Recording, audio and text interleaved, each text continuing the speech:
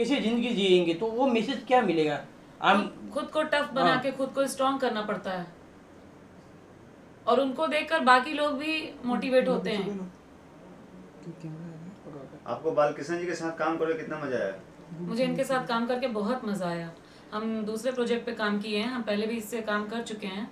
ये मेरे पाँच साल से बहुत अच्छे मित्र हैं और बहुत अच्छा डायरेक्शन है इनका बहुत अच्छा काम है इनका। तो लोकेशन की बात करते हैं तो कहाँ कहाँ पे शूट हुआ है?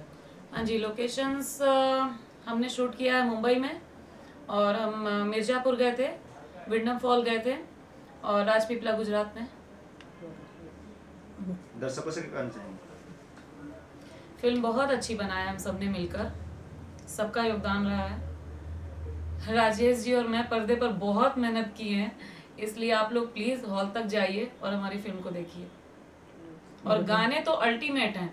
गाने तो सबके मोबाइल में बजने चाहिए, हमने ऐसे गाने बनाए। और हमारी फ़िल्म बहुत साफ़ सुथरी है, आप पूरे परिवार के साथ बैठकर देख सकते हैं। जो भोजपुरी के बारे में लोगों की गलत धारणा जो बैठी हुई है ना, हम इसे उदाहरणा को काट देंगे।